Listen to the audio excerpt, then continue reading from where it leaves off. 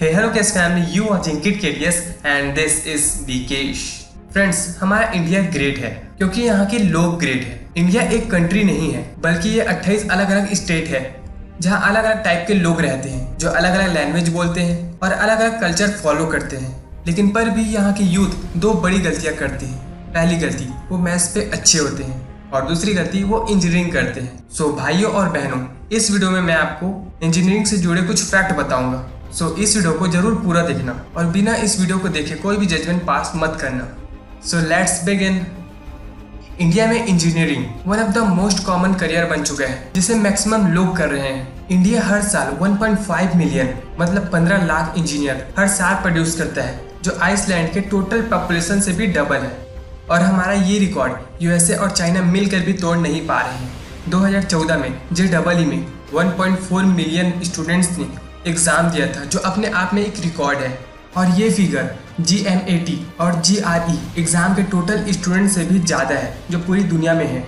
और एक और इंपॉर्टेंट बात यह है कि इंडियन कोचिंग इंडस्ट्रीज़ जितना पैसा बनाती है एक साल में, उतना पैसा तो बॉलीवुड भी नहीं बना पाती। और जो सिलिकॉन वैली जो टेक्नोलॉजी हब है 33 परसेंट इंजीनियर है, वो इंडियंस ही हैं। सिलिकॉन वैली पे, जो 15 परसेंट स्टार्टअप्स हैं, उसके को फाउंडर्स इंडियन इंजीनियर्स ही हैं। और अमेरिका जैसी पावरफुल कंट्री भी हमारे देश से ह्यूमन रिसोर्सेज लेती है। हमारे इंजीनियर्स डॉक्टर साइंटिस्ट और भी कई फ़ील्ड के एक्सपर्ट लोग। इन सबसे ये बात तो क्लियर हो जाती है कि हमारे देश में टैलेंट की कमी नहीं है क्रिएटिविटी की कमी नहीं है।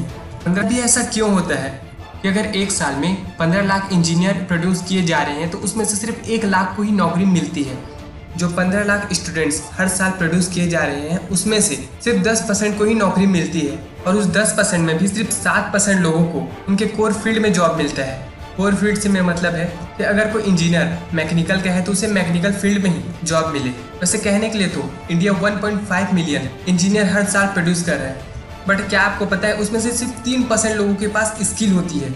और सोचने वाली बात यह है कि अगर आपके पास स्किल नहीं है तो कोई भी कंपनी आपको क्यों नौकरी देगी? According to All India counselling of technology हमारे देश में 60 परसेंट इंजीनियर अभी भी बेरोजगार है अनएम्प्लॉयमेंट के शिकार है। अब क्विकली वो रीज़न बताता हूँ, जिसकी वजह से हमारे इंजीनियर्स की ये हालत है। लोग कहते हैं इंजीनियरिंग कर ली मतलब लाइफ झंड है करियर नहीं है जॉब नहीं मिलने वाला। कितने सारे जोक्स बनते हैं। लेकिन फ्रेंड क्या आपको पता है इंजीनियर कोई ऐसा ही नहीं बन जाता यार। इसके लिए कितने सारे पापड़ बेलने पड़ते हैं, वो एक इंजीनियर ही जानता है। मैंने भी इंजीनियरिंग की है। इन चार सालों की पढ़ाई में कितने सारे एग्ज़ाम होते हैं कितने सारे क्लास टेस्ट होते हैं, कितने सारे असाइनमेंट बनाए जाते हैं पर्सनैलिटी डेवलपमेंट किया जाता है और भी बहुत सारी चीज़ें, जिससे एक स्टूडेंट को बहुत सारी हेल्प मिल जाती है। जब आप इंजीनियरिंग करके बाहर निकलते हो तो आप एक प्रोफेशनल लेवल के इंसान बन जाते हो। लेकिन जब आप इंजीनियरिंग कंप्लीट करते हो और रियल लाइफ में आते हो तो आपको पता चलता है जो भी चीज़ें आपने पढ़ी है चार सालों तक, उसका तो कोई लेना देना ही नहीं है। अभी भी इंडिया की एजुकेशन क्वालिटी बहुत पुअर है। जहाँ सिर्फ़ थ्योरी नॉलेज दी जाती है, कुछ प्रैक्टिकल नहीं बताया जाता। प्रैक्टिकल के नाम पे सिर्फ़ प्रैक्टिकल एग्ज़ाम हो जाते हैं और कुछ नहीं होता। और यही कारण होता है जिसकी वजह से लोगों में स्किल की कमी आती है। उन्हें लगता है कि अगर हमें चार साल पढ़ाई कर ली है डिग्री हमें मिल गई है तो कोई भी कॉलेज हमें नौकरी दे देगा।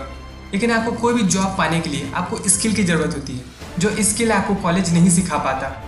इंडियन एजुकेशन सिस्टम में बहुत सारे एग्ज़ाम होते हैं। एग्ज़ाम पे एग्ज़ाम होते हैं। और वो सारे एग्ज़ाम थ्योरी वाले ही होते हैं। और इंडिया में मुझे जो सबसे बड़ी प्रॉब्लम लगती है इंजीनियर्स की वो ये है कि हमें जितने इंजीनियर्स की ज़रूरत है इंडिया में उससे कई गुना ज़्यादा इंजीनियर्स हैं। आप इमेजिन करो हर साल पंद्रह लाख इंजीनियर बन रहे हैं, जिसमें से हमें सिर्फ़ दस या बीस परसेंट इंजीनियर्स की ज़रूरत है। और यही वो सबसे बड़ा कारण है, जिसके कारण इतने सारे इंजीनियर्स अनएम्प्लॉयड है, उन्हें नौकरी नहीं मिल रही है, क्योंकि नौकरी है ही नहीं। जिन लोगों के पास अच्छी नॉलेज होती है, अच्छी स्किल होती है प्रैक्टिकल नॉलेज होता है, उन्हें अमेरिका जैसी कंट्री ले लेती है। और बाकी इंजीनियर जिनके पास कम स्किल होती है या जिनके पास स्किल नहीं होती, वो अनएम्प्लॉयड रहते हैं या कम सैलरी पे जॉब करते हैं। तो फ्रेंड बस इतना ही कहूँगा कि अगर आपको इंजीनियरिंग करनी है तो कर लो, उसमें कोई प्रॉब्लम नहीं है। लेकिन अगर आप मैथ्स वाले हो तो भी आपके पास सिर्फ़ इंजीनियरिंग ही एक ऑप्शन नहीं है और भी बहुत सारे ऑप्शन हैं। बहुत से सेलिब्रिटीज़ हैं फ़ेमस लोग हैं, जिन्होंने इंजीनियरिंग तो की है, लेकिन वो अपने पैशन को फॉलो कर रहे हैं और वो डिफरेंट डिफरेंट फ़ील्ड में सक्सेसफुल है। तो लास्ट में बस इतनी सी रिक्वेस्ट करूँगा कि आपको अपने पैशन को फॉलो करना चाहिए।